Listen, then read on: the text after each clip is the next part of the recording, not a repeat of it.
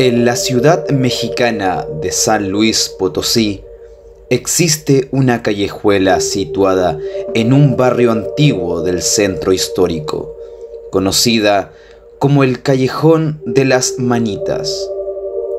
Este angosto y sombrío lugar ha sido testigo de numerosos sustos y leyendas aterradoras que han perdurado a lo largo del tiempo. La razón de esto yace en la macabra historia que envuelve este pintoresco rincón, una historia que aún hoy resuena en las mentes de los habitantes locales. Todo comenzó en 1780, durante los primeros años de la época colonial. En aquel entonces, un sacerdote llegó a la capital potosina y se instaló en una modesta casa cuya ventana daba justo al callejón. Este párroco, con una devoción inquebrantable, asumió la tarea de impartir clases en una escuela para niños desfavorecidos, ganándose rápidamente el respeto y el cariño de la comunidad. El sacerdote era un hombre de gran piedad y generosidad. Aunque no poseía mucho, lo poco que ganaba como profesor lo destinaba a comprar alimentos y medicinas para los más necesitados o a dar pequeños obsequios a sus estudiantes. Su bondad y altruismo lo convirtieron en una figura querida y respetada entre los vecinos y los niños que educaba. Una tarde, el sacerdote salió a dar un paseo por la ciudad. Al caer la noche, regresaba a su hogar cuando se encontró con un asaltante que intentó robarlo. Al descubrir que el sacerdote no llevaba nada de valor, el ladrón, lleno de ira y cobardía, lo apuñaló brutalmente, dejando que el religioso muriera desangrado en el callejón. La trágica pérdida del sacerdote fue un golpe devastador para todos sus conocidos. La comunidad quedó sumida en el dolor y la indignación.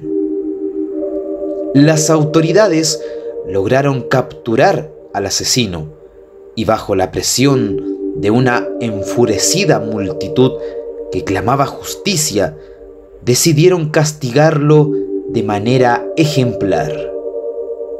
Le cortaron las manos y, en un acto de advertencia y escarmiento, las colgaron con una cuerda de la ventana de la casa del sacerdote en pleno callejón.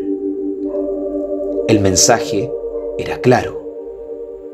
Todo crimen tendría su merecido castigo. A partir de entonces, comenzaron a suceder cosas extrañas en el callejón. Los vecinos reportaban escuchar golpes en la ventana y en las paredes durante la noche. Algunos incluso juraban haber visto las horribles manos moverse y hacer gestos amenazantes. El miedo se apoderó de quienes se atrevían a pasar por allí después del anochecer. Preocupados por los continuos reportes, los gerdarmes decidieron descolgar las manos, pensando que ya era suficiente castigo. Sin embargo, para su asombro y horror, las manos reaparecieron colgadas en el mismo lugar al día siguiente.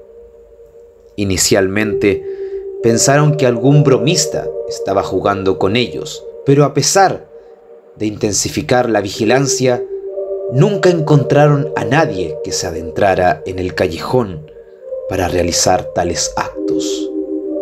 Parecía que las manos tenían vida propia, moviéndose por voluntad propia, sembrando terror entre los vecinos y las autoridades.